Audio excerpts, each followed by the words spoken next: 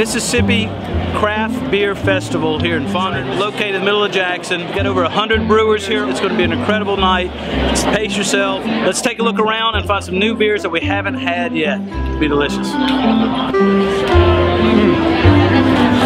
I am drinking a hibiscus beer. My name is Gina. I'm with Chandeleur Island Brewing Company in Gulfport, Mississippi. And we love to fish, so everything that we do is something you can throw in a cooler, take out on the boat, take out on the beach all day, enjoy with your friends. We have golden ales, pineapple weeds, we have sours and IPAs. Really good. My name's Mason Meeks. I'm with Slowboat Brewing Company out of Laurel, Mississippi. This year we have the Four, which is a Gose, Into the Mystic, which is the Hibiscus Belgian, and Dairy of a Madman, Milk Stout. What? The man-sized can in it. That's what you need. Come to Mississippi, local brewery, go get the Gose, go that slow boat. Yeah, baby. My name is John. I'm with Threefoot Brewing Company. We brought the Imperial Honey, which is an Imperial IPA made with local honey and the local brown ale, and it's an American brown ale. It's uh, it's it's very light. It's uh, tasty for a dark beer. Yeah. So I'm uh, I'm kind of impressed with it. Yeah. It's a beer lover's paradise, people. Beer everywhere. It's everywhere.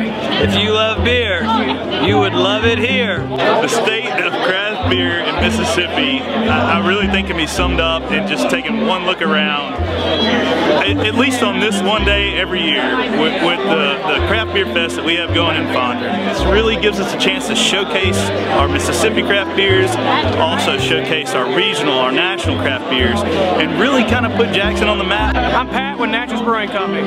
Today we brought uh, most of our sours, so we've been specializing in sours this year. Uh, we brought some kettle sours, Son of Grace, a Berliner Weiss, a dry hop kettle sour, a red kettle sour, which is like a Flanders, and then we brought our uh, Rassemblement de Saison, which is a uh, tart Saison, and a dry hop uh, golden sour.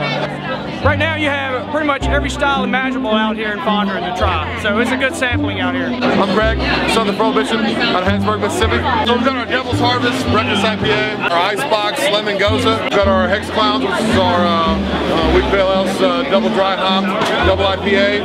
Our Crowd Control, which is our Double IPA. Super juicy, super fruity.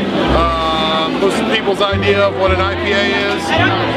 I think that there could be a very good argument for this indeed being a beer lover's best day in Jackson.